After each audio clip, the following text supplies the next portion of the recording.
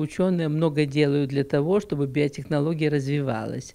В частности, в нашем институте делается очень много разработок вообще для разных сфер скажем, отраслей промышленности, сельского хозяйства, медицины, здравоохранения, охраны окружающей среды.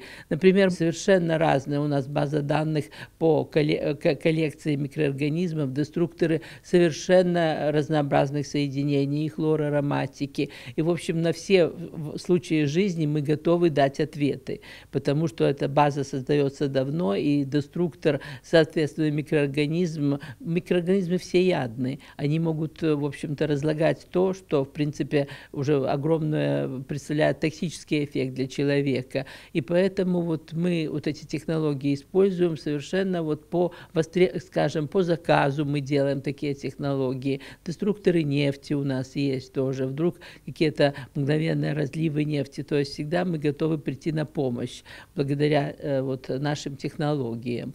А, а аспекты биоповреждений тоже у нас на вооружении, мы всегда этими вопросами занимаемся, и обращается очень много народу, вот, и потому что есть и квартиры э, с плесневым поражением, и дома разрушаются, и вовремя найти средства, посоветовать, порекомендовать, определить возбу э, природу возбудителя вот этого биоповреждения. Это опять-таки тоже наша работа. Ну а на перспективу мы уже собираемся идти дальше. Мы собираемся создавать э, биогербициды для сельского хозяйства. Мы собираемся курировать вопросы биоэнергетики. То есть э, можно из возобновляемого сырья производить и, скажем, и спирты, которые могут быть сырьем для, хими для химического синтеза и могут использоваться биоэнергетики. Можно производить и производится у нас биогаз, но контроль этих процессов, безусловно, за специалистами должен оставаться. То есть вот такие вопросы, например, и та же сфера